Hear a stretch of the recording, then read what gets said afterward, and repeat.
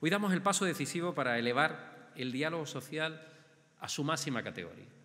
Y no existe mayor categoría que es el mayor rango posible, que es el rango de ser ley. Lo hacemos escenificando en este acto el apoyo de todas y cada una de las partes a la futura ley de participación institucional de las organizaciones sindicales y empresariales más representativas en la comunidad autónoma, es decir, a la Confederación de Empresarios de Andalucía, a las comisiones obreras y a la Unión General de Trabajadores, a las tres organizaciones, a los que vuelvo a agradecer una vez más su altura de mira y voluntad de diálogo permanente. Y esto es algo fundamental. Claro que discrepamos. No, discrepamos en el Consejo de Gobierno, imagínate.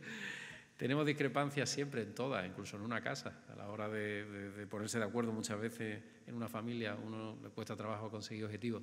Discrepamos, pero yo tengo que agradecer públicamente en el día de hoy, a pesar de esas discrepancias, de esas movilizaciones, de esas, de esas reivindicaciones legítimas que hacen las organizaciones centrales sindicales y empresariales, siempre a la hora de sentarse, a la hora de dialogar, a la hora de hablar y de avanzar, siempre están dispuestas y es algo que hay que reconocer y agradecer.